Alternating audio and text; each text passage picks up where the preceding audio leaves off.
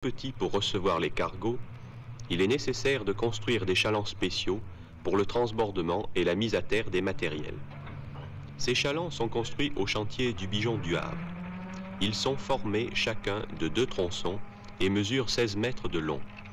Ils sont munis de quatre colonnes qui, dans le port, prendront appui sur le fond et élèveront le chaland hors de l'eau en le soustrayant aux effets de la houle et en amenant le matériel à hauteur convenable pour le déchargement.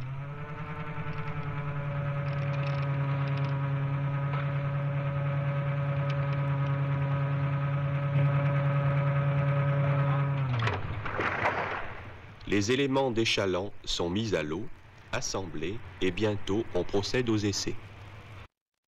Les essais au Havre sont difficiles car les hauts fonds sont rares. Mais si le chaland s'élève peu au-dessus de l'eau, l'ensemble montre son bon fonctionnement et sa stabilité.